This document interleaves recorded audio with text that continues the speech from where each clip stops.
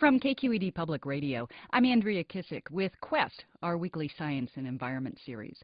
For the last 16 years, Lawrence Berkeley National Laboratory up in the Berkeley Hills has had the physics equivalent of a rusty pickup truck parked in its front yard. The Bevatron is a 1950s era atom smasher that was decommissioned in 1993. Now, President Obama's stimulus money is allowing demolition crews to finally dismantle the massive relic. Amy Standen reports.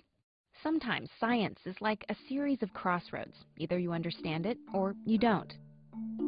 Either it's there or it isn't. You get to a point where there's just a fundamental question you have to answer. Does it exist or not? Because where you go from here depends so critically on the answer to that question. Does it exist or not? Really, this story begins with a bomb. It was 1954, 10 years after the first atomic bombs had leveled Hiroshima and Nagasaki.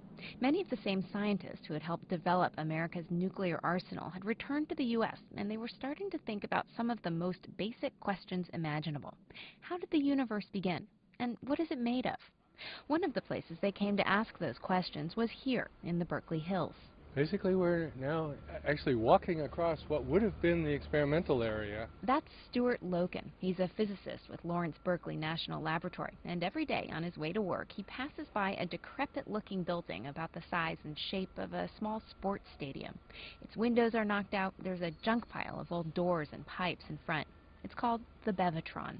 This was the highest energy accelerator in the world, and it was commissioned with one goal in mind, to produce experimental evidence for the existence of the antiproton.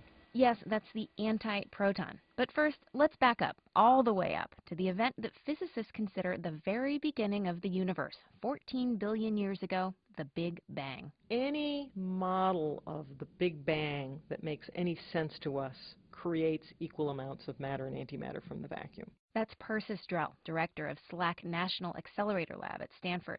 She says that matter is pretty straightforward. It's what makes up your coffee cup, your brain, the visible universe. Antimatter is a lot like matter, but the opposite. For every subatomic particle that makes up matter, there's a matching particle, an antiparticle, with the opposite electrical charge. But here's the problem. Scientists knew the antimatter had to be out there, but for the most part, they couldn't see it. Which is what brings us to one particular kind of antimatter, the antiproton. Again, Stu Loken the antiproton was the thing that would confirm that there was, in fact, an antimatter world in addition to the matter world that we see every day. In other words, if scientists could produce an antiproton, it would mean that our understanding of the Big Bang and the makeup of our universe was basically on the right track. If not, well, it was back to square one. So they built the Bevatron to test that theory. Try and picture this. The experiment began with a thin cloud of hydrogen gas. First, scientists extracted protons from the hydrogen atoms and injected them into the accelerator chamber. As the protons whipped around and around the chamber, they went faster and faster until they approached the speed of light. You want to get to a high enough energy that when the particles smash together, you can turn that energy into the production of new particles. Which is exactly what happened. As the particles approached light speed, the Bevatron performed a feat Einstein himself had described with the equation E equals mc squared. That mass and energy are different manifestations of the same thing.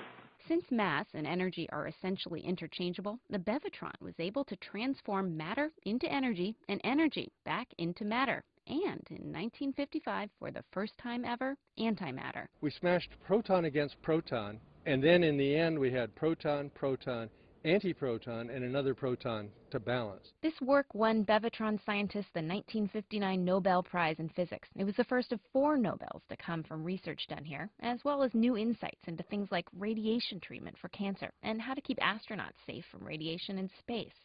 But by the late 1980s, the Bevatron had become obsolete.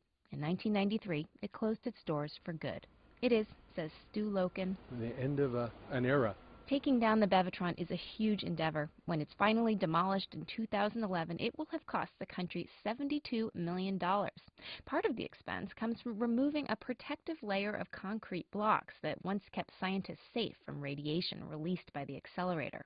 Now, those blocks must be hauled away to hazardous waste sites. Meanwhile, interest in particle physics is exploding.